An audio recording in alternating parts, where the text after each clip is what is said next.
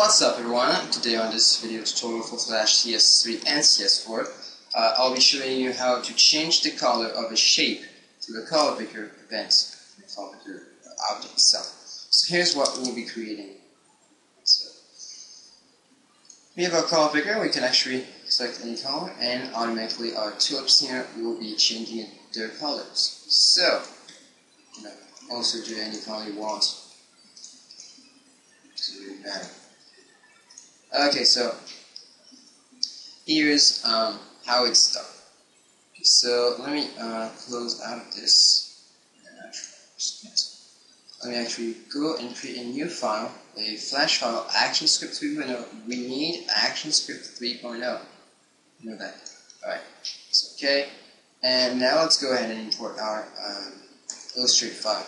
Or you can just create a shape, whichever uh, one you prefer to do sorry. Stage, and then Tulips AI, and I'll set this, and I'll create a movie clip. You need to make this shape a movie clip, so I should input my to shape underscore MC, um, and that's good. Okay, alright, so now let's go ahead and resize this, just a little bit.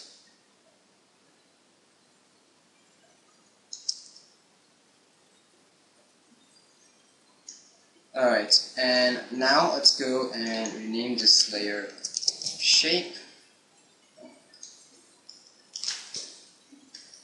And let's make sure the instance name is shape underscore MC. That's great. Now let's go ahead and create a new layer, and we're actually going to be setting our color picker right there.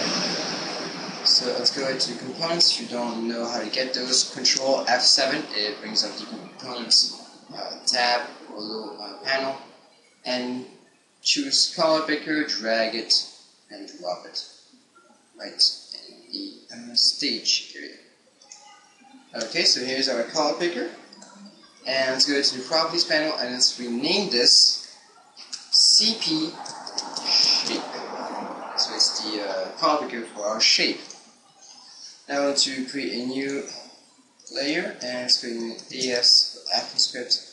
Let's select the layer and let's go ahead to Window, Actions, and let's type in our ActionScript. First of all, we need to import some uh, events. So fl.events.color, picker events. There we go.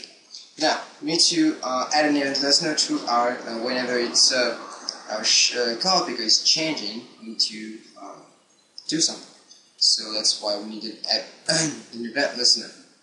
So we're going to say cp shape dot add event listener. Make sure the E and the L are uh, capitalized. And it's going to be a uh, color,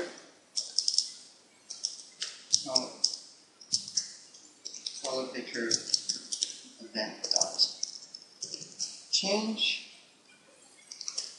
And we'll actually be executing the function which we'll be creating right now called change color. And let's close the parenthesis and semicolon. Now our function.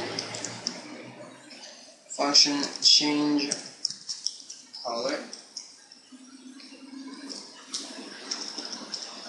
And we're going to be taking an event which is going to be a color, picker event, and we'll actually be uh, making this void.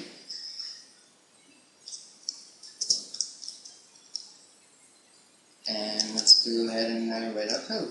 Alright, so we need to create a new variable. So as var, and we're going to make this new color transform. So basically, there's a uh, object out there which is a color transform, which basically is in our shape, and that basically allows you to actually change the uh, color of an object shape. Just uh, instance uh, so we're set this new color transform color transform uh, object to be equal to our shape underscore MC. So my uh, Greek tulips, rice tulips, and dot transform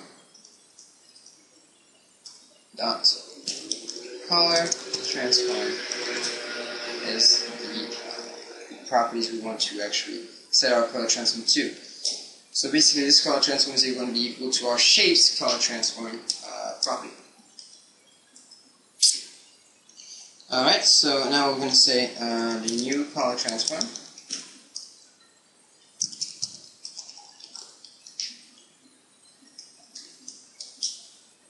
So new color transform is equal, to actually dot color, sorry. So new trans color transform color is equal to event dot color. Okay. Uh, semicolon and last line. Your shape underscore mc so our shapes uh, dot transform dot color transform is equal oops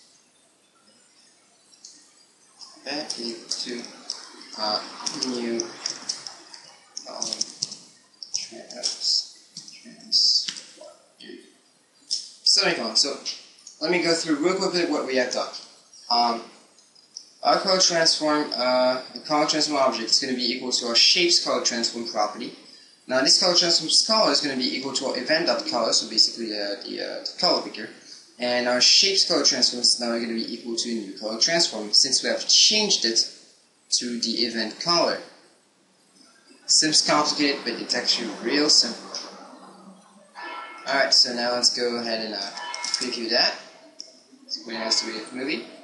And we have here. Alright, so it said that we have a problem. Actually, uh, the function change color, I forgot to put the n, so stop. So script contains no error, and let's go ahead and run that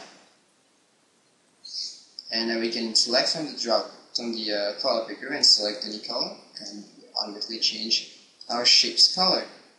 Now make sure your shape is uh, transparent on the white because uh, thought mine was actually wasn't and the whole thing went uh, the color it's because um, it changes the uh, the um, opaque the visible area uh, of the of the shape.